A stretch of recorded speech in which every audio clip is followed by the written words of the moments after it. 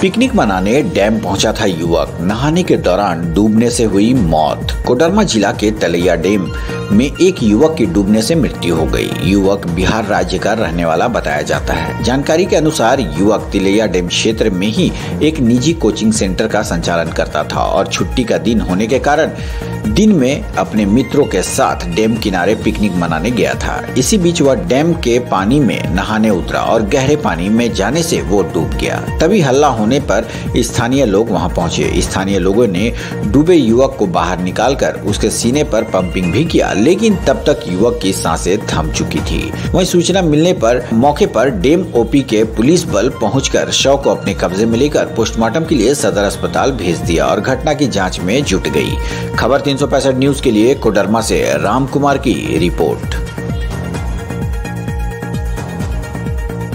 Update खबरों को देखने के लिए देखते रहें खबर 365 न्यूज़। साथ ही लाइक शेयर और सब्सक्राइब करना ना भूलें।